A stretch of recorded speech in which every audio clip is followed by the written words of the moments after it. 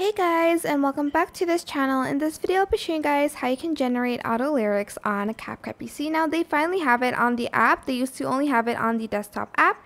So you're just going to select your video or like an audio. I'm just going to extract the audio and use the audio only.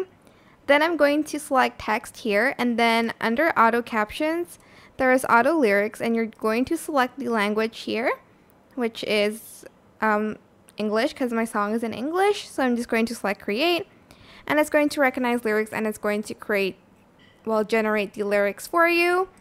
It's not going to be super accurate, but you can definitely change it here um, because again, it won't be super accurate. I hope this tutorial was helpful for you guys. Don't forget to like, comment, share. Also subscribe to this channel if you haven't done that already. If you have any more questions, just leave it in the comment section down below and I will try my best to answer them all for you guys. And if you found this video helpful, please click the thanks button above the description box down below. Thank you so much for watching. Bye!